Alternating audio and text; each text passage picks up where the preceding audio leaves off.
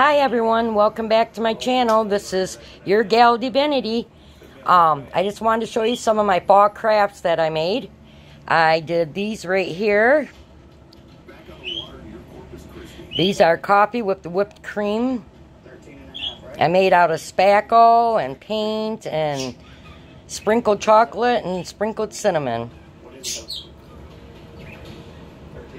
Then I got this tier tray done. I made the home sign and this pumpkin next to it right here.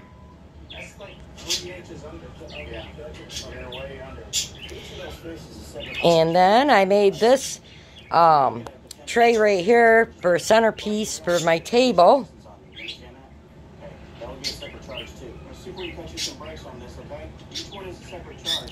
This is just a short video to show you the crafts that I've been working on. I hope that you all have an amazing day.